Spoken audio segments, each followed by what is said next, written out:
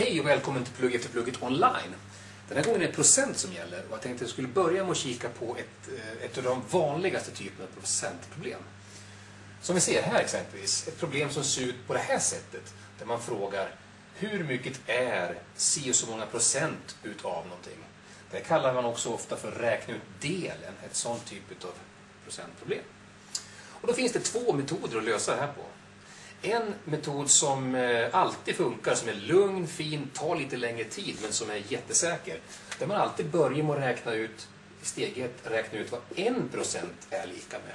Och sen i steg två så räknar jag ut det jag söker, alltså 7 procent.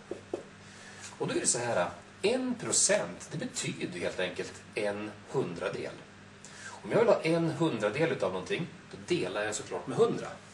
Så vill jag ha en hundradel utav 500 så delar jag 500 med 100. Va? 500 med 100 och det är ganska lätt huvudräkning. Det blir 5 kronor. Så 1 procent är alltså 5 kronor. Men som sagt, det var inte det jag sökte. Jag sökte 7 procent. 7 procent, det är 7 gånger mer än vad 1 procent är. Va? Så alltså måste det bli 7 gånger 5 kronor. Va? Vilket blir 35 kronor. Där har vi alltså svaret. så. Va? 7 procent utav 500 är 35 kronor. Alternativ 2, som man skulle kunna lösa det här problemet på, är att man tänker 7 procent betyder ju då 7 hundradelar. 7 hundradelar kan jag skriva i decimalform som 0,07.